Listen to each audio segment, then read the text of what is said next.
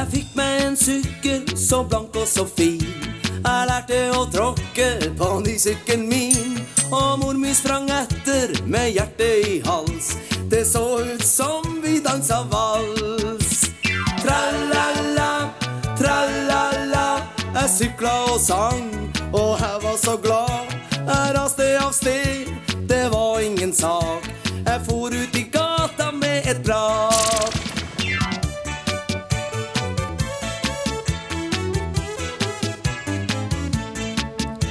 Men ute i gata, der gikk det for fort. Jeg var litt uheldig, og så var det gjort.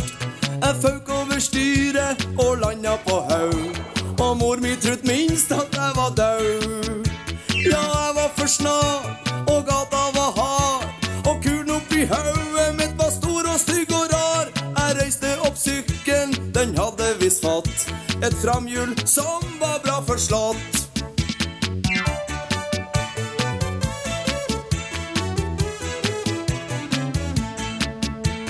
sykkelen og jeg, vi måtte fikses begge to.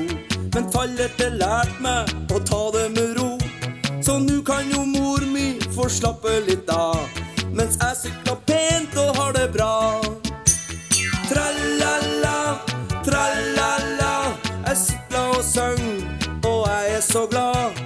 Jeg triller av gårde, det er ingen sak. Men i gata uten.